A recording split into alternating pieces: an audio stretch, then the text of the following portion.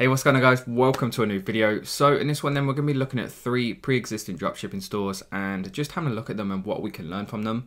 So we're going to be looking at the stores themselves, their best selling products, we're going to be looking at how profitable they are and just in general then what we can take from them and implement in our own dropshipping businesses. I've said it time and time again, the best way to be successful at anything, not just dropshipping, it can be riding a bike or learning to swim, is simply find somebody who is already good at it and getting the results that you want to get and then just pretty much replicate what they're doing. So that's what we're going to be doing in this video. But before we jump into it then, I just want to very quickly mention, um, as always, I am giving away a free one-to-one -one consultation call with me in this video. So if that's something that you might want to win and you want to talk to me, um, then all you have to do is simply like the video and leave a comment down below.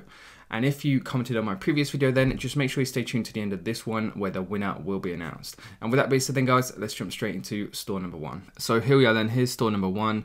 Um, just in case you're wondering where I find these stores, it's simply on the exchangemarketplace.com where people can come to sell their e-commerce websites and the majority of them then are actually Shopify stores. So the way I've picked these stores then, it's not 100% random. I pick certain stores just so I can provide certain information to show you guys. And the reason I've picked this one then, so treasurefan.com, is because it's a general store and for whatever reason, general store seems to be getting a lot of press within the dropshipping community at the moment. And I just want to show you this store just to show you that general stores aren't dead. At the end of the day, if you have a good product, you advertise it in a good way, and you have it on a good store, then your customer will buy the product. It doesn't matter whether it's a, a, niche store or a general store. If they like the product, they're going to buy it. So this is store number one then, treasurefan.com, just to give you a bit of background information, established in 2016. Performance wise, then we can see they've done clearly over $1 million. Um, a pretty healthy business. And what I like about these guys as well is that Typically, what you'll find on the exchange marketplace is a lot of stores will be selling as they're on a decline because they're not doing very well. But as you can see, these guys are doing pretty consistently, it's like the size of a pretty healthy business. So total revenue then just over 2 million, total traffic 2 million visits. So that's a pretty good sign as well. It's pretty healthy average order value. And then another thing I want to show you guys as well is the expenses. It's always worth looking at the expenses in a store because it's going to give you an idea then of how healthy that actual business is and how, and what they're doing to actually generate those kinds of revenues.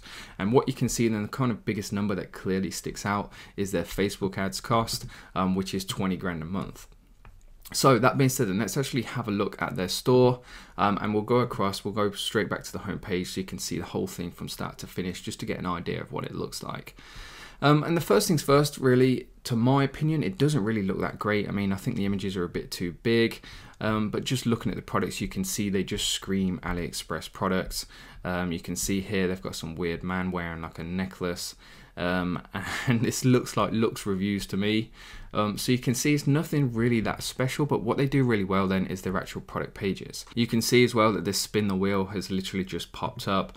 Um, to be honest, I tend to stay away from things like that because to me it's just going a bit too spammy but um, you can see it's obviously working for these guys um, and what I want to show you now then is their actual product pages so if we just go straight to their best selling um, you can see that the best selling products are simply these socks and literally like, it took me 10 seconds to find these on AliExpress the exact same socks £1.45 a pair and these guys are selling them for $13 so this is the best selling product page then. Um, as you can see like first impressions is it looks really really good um, and the product page, in my opinion, is probably the most important page on your store because that's where you're going to be directing people straight to.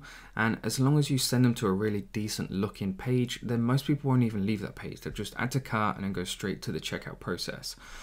Um, for everybody familiar with this Commerce Inspector tool, you would have seen these guys are using a turbo theme. So if you are looking for a potential theme to invest in, you can see clearly that these guys have done over $2 million in revenue using this theme. So it must be a pretty good one.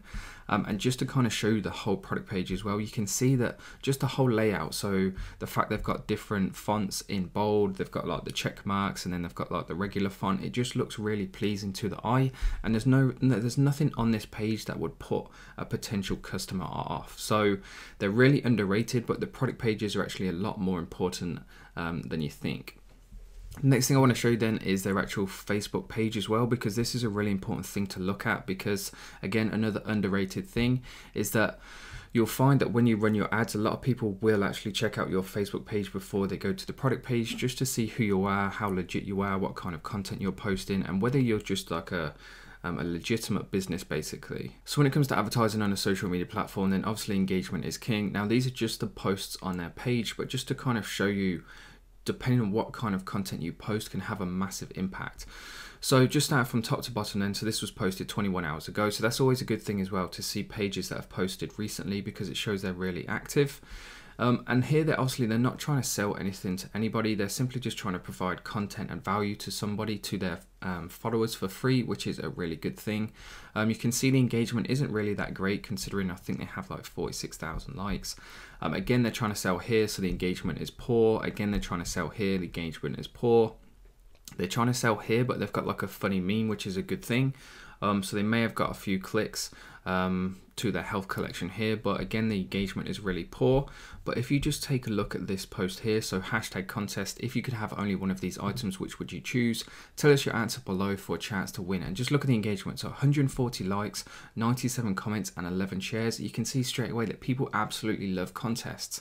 And the reason why this is so good as well is that if you want to introduce a new product to your store and like there's a handful of products that you're not quite sure which one to go for, which one to focus on, which one to start advertising or build an ad for, then just simply ask your followers. You could boost an ad, run an ad, um, a traffic ad just to get as many eyes or a reach ad, um, just to get as many votes so you can see exactly what the market wants and let people vote for their favorite product. And you can see with 97 comments, then they've got a pretty decent and sufficient amount of feedback there. So with all that being said then guys, we've seen their best-selling products, we've seen their store, we've seen their Facebook page. Um, I spent a bit longer than usual than I plan to going through the store, but purely because I want to put the message across that whether you're running a niche store or a general store, that isn't going to be the determining factor between whether you fail or whether you succeed. Ultimately, it will come down to the ad that you're running and the product and your store. So they're the three key ingredients to whether you're going to be successful or not. You need a really good ad, you need a really good product, and you need a really good store. So that being said, then let's move swiftly on to number two, which is this store here. It's called Um, and again, just some kind of like background information. They were launched not very long ago, March 2018, so barely been in business a year, and they've already done over um, a million dollars in revenue in the first year, which is again pretty impressive. Total traffic is 1.6 million visits to 1 million revenue. And if we just scroll further down and have a look at their expenses, it's always worth checking this out. Um, to me, they're probably not listing all of the expenses, but they might have stopped trading. I don't know. So we can't really learn a lot from that anyway. Anyway, that being said, then let's move on. Let's have a look at their store. So loomrack.com. Um, again, it looks pretty decent. They've got like a nice kind of like banner image there. Um, you can tell as well this is general store. These sorts of products are just screaming AliExpress out to me. Um, and these are all the different collections again. So again, a really another successful store and it's a general store. You don't have to run a niche store. So anyway, that's their homepage. Um, not really interested in that because not many people will come to this. What we're more interested in is the product page because that's going to be like your first impression with your customer. So we'll use Commerce Inspector, go straight to their best selling. And the reason I wanted to show you this then is because I thought it's quite funny is that some people have clocked on to that people can copy their best-selling products. So you can see they've put this note here. Oh no, nothing to see here. Copycat question mark, which I thought was pretty good. So we can't actually see what their best-selling products are, but um, if we just head over to their shop and let's just take a random niche, for example, let's go to home niche. A lot of people I talk to are in the home niche. Um, and we can see like these are all the different kind of products that these guys are selling and you can tell straight away if you've been on AliExpress for two minutes then you've probably seen like most of these products yourself. So if I just take a random product, we'll go for this BlendJet because I know that these guys, there's a brand that's built a massive brand and they've brought on Jen Selter just to help sell this product. Um, just have a quick look then at the product page. So they've actually got a video um, supporting the product page, which is always a really good idea. The more content, guys, you can give people around a particular product, then it's always going to be a good thing. Um, they've got a pretty cool like GIF here or GIF. Um, just showing how effective the product is. Um, they've got another one here and just plenty of information here. Now, if it was me, then this white space would be putting me off. But what that tells me then, I'm guessing that these guys are probably just focusing on the mobile customers. So I'm just going to check out what it looks like um, from a mobile point of view. So hopefully you guys can see this. It looks a bit small probably on the screen. Um, but if we just scroll down, we can see that on a mobile, um, this theme looks really nice. And if we just scroll down quickly, we can see that, yeah, there's no white space at all when you're looking at it on a mobile. So my initial thoughts then, or if I had to guess, um, these guys would be purely just focusing on um, mobile traffic. So just in case you've never seen this bottle before, um, here's the exact same one on AliExpress. You can see you can buy it for about £10. Um, and these guys are selling it for nearly £30. Another thing worth checking as well, so we'll just have a look at their shipping policy. You can see they're quoting two to three weeks. Um, and they also mentioned somewhere that their products come from all around the world as well. So these guys are clearly a dropshipping store. It's clearly a general store as well. So again, another good example in that as long as you sell a good product and you have good ads um, and a good decent looking product page, then you can make some pretty decent money as well. So the next thing we want to check out then is if we go across to their Facebook page, um, because you can't look at their info and ads anymore, if we go across to their uh, videos, then if they've used a video as an ad, and kind of like use that for every single ad set, then there'll be certain videos that stick out in terms of views. And then that's going to give us like an inkling into what they're using for their video ad essentially. So we can see they kind of average around about a thousand views. It's got 750, 1.2, 1.2. Um, this has got 2.3, so they probably use that at some point. But the one that sticks out the most then is this one here. So 31,000 views. So these guys have obviously paid to um, to advertise this post, and this is probably the ad which brought in the majority of the revenue. And if we just have a look at the ad, you can see it is just crazy, crazy basic. Um, 30,000 views and they probably just got these images off AliExpress as well. So, so I'm guessing this ad must have been effective to somewhat degree.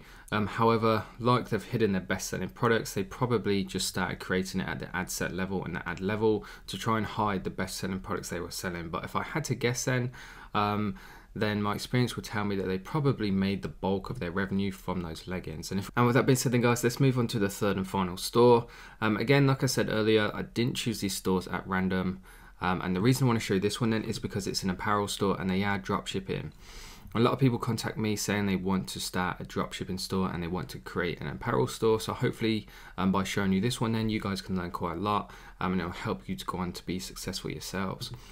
First thing I want to show you is the fact that they want $800,000 for this store, which just seems crazy expensive to me. Um, however, let's check out the performance. So they've done nearly 3 million in revenue um, from nearly 4.5 million visits. And if we look at their expenses, you can see that the majority of their traffic is coming from Facebook, which I'm assuming, um, I'm guessing that most people watching these videos are planning to use, if not already using Facebook ads. So these guys are essentially doing exactly what we'd be trying to do. So let's head over to their store then. Um, and the first thing I want to show you then is their best selling products because I want to prove to you that these guys are drop shipping and that through creating a brand, even if you are dropshipping, then you can set yourself apart from everybody else. And one really good st strategy to do that then is just simply how you name your products. So, so it took me quite a while to try and find one of these products on AliExpress, and it's because of what they've called them. They've named them unique names. So if anybody goes onto Google and searches for the Sandstorm denim jacket or the Savagery bomber, then this piece of clothing isn't going to come up and therefore it makes it unique to this brand even though they don't own the actual design and the actual product if that makes sense. And just to prove it then we have the sandstorm denim jacket. If we'll just head over to AliExpress I found this previous, previously. You can see it's the exact same product. It's even got like the sand kind of like scratch marks down the right hand side in which it does here too. And these guys are selling it for $90 and you can see you can clearly buy it for £30 which is probably about um, $40. So a pretty healthy um, profit margin as well. So if we just check out their product page as well, it's always important to check out the product pages because that's essentially what's going to sell the product. Um, and you can see straight away it's just a really nice clean looking theme. Um, all the fonts are bold where they should be bold. All of them aren't bold where they shouldn't be. Um, they've got a pretty kind of like simplistic product description um, but judging from their revenue and the fact that this is one of their best selling products um, then it obviously works. So this is the product page then. Um, just to have a look at what the theme as well it looks like Shoptimize to me. Oh no it's the turbo theme. So that's kind of like three common grounds in which all three of these stores have had is that they're all using paid paid themes. Um, and the next thing I want to show you as well is that when it comes to branding, then in my opinion, Instagram is just king. And these guys make really good use of how to use Instagram. And just to kind of scroll down their newsfeed, you can see that they're constantly reposting people who are wearing their clothing. And if you want to build a brand on Instagram um, or just pretty much anywhere, then that is that's like the number one best thing you can do because when it comes to branding, if you think about just any brands that you buy into, Part of the reason why you buy it is because everybody else is buying it, and the reason lots of people buy into a particular brand is because the kind of message they put across. And the more people that buy into a brand, the more people see it as a legit brand and a brand worth being part of. Like Gymshark. Gymshark is absolutely huge. They grew really, really quickly. And they have like a clear kind of like mission statement, what they're all about. And because so many people follow it and it's about something positive, then it doesn't t- it doesn't take a lot for somebody else to come across the brand and also buy into it as well. And one way to really do that is just to kind of advertise the fact that people are wearing their clothing. So you can see um, they're always showcasing and modeling the clothing they're selling, and where possible, they're reposting probably influencers that are also wearing their clothing as well. And just to kind of illustrate this, if we choose one that has like pretty good engagement, so 1700 likes, 1200, uh, 2800. So if we take this random one, um, we'll see if there's somebody tagged. It's in like a different language, so EJ Inc. Open that into a new tab and we'll come across. So we can see they're kind of like a quite a small influencer but there's clearly a person behind the brand an actual face an actual body an actual person. And they've only got 11,000 followers. So the chances are they didn't actually pay that much for for the shout out for this person to wear their piece of clothing but you can see they've done it like tons of different times and it's just a really quick way to build up a pretty decent following a pretty decent brand um, get a ton of social proof behind it um, and then start using the data that comes across from instagram and retargeting through facebook which we can see because they're bringing in like consistently over 100 grand a month in that's traffic. So they're bringing in 50 60 averaging probably about 75 grand um, in revenue, and they're only spending like 10 grand a month on Facebook. So to me then if i had to guess i would say they're using instagram just to drive as much traffic as possible through instagram influencers and then just retargeting that traffic through facebook which is a really good um, strategy to use. So anyway all that being said guys i think that pretty much wraps up the video. Um, just to kind of go over then what we've learned um, all three stores are using paid themes so you can see there's a consistent kind of theme there if you like um, they're all using Facebook ads, so Facebook ads aren't dead. As expensive as they may seem to be getting, um, you can still make a lot of money with Facebook ads. A lot of these stores were selling products over that kind of like 20 to 30 dollar range as well. So if you've been selling really cheap products, struggling to make a profit, then perhaps start looking at more expensive ones. Um, and just all in all, that dropshipping isn't dead. Um, and it goes back to those three core elements I mentioned earlier in the video. If you've got a good ad, a good product, and a good store, then you're going to be successful. And with that being said, then guys, I'm going to wrap the video up there. If you're still watching, thank you very much. Don't forget, if you want a chance to win a one-to-one -one consultation call with me, all you have to do is simply like the video and leave a comment down below. And with that being said, then let's get into announcing the winner of the previous video. So here we are then, guys, on my previous video. Start from day one, my step-by-step -step strategy for beginners. So if you are a beginner, then um, I strongly advise you go check that video out. Anyway, with that being said, then I'm just going to take the URL top left um, head over to our random comment picker. So all these competitions are 100% random. Please don't ask me to pick you. And we have 79 unique commenters, which is absolutely awesome. We are fast approaching 6,000 subs, so thank you very much, guys. Um, if you haven't subscribed yet, please do make sure you do. And the winner of the previous video then is Yanis. So thank you very much for your comment. Please reach out on Instagram and we can get that call arranged. And guys, if you want to stop trying your luck, because not everybody will win one of these, we are growing pretty quickly now, but you just want to get straight down to business and book a call, then you can actually do so. Make sure you check out the links in the video description down below. And with that finally being said then guys, thank you very much for tuning into this video. Thank you very much for watching and I'll see you in the next one.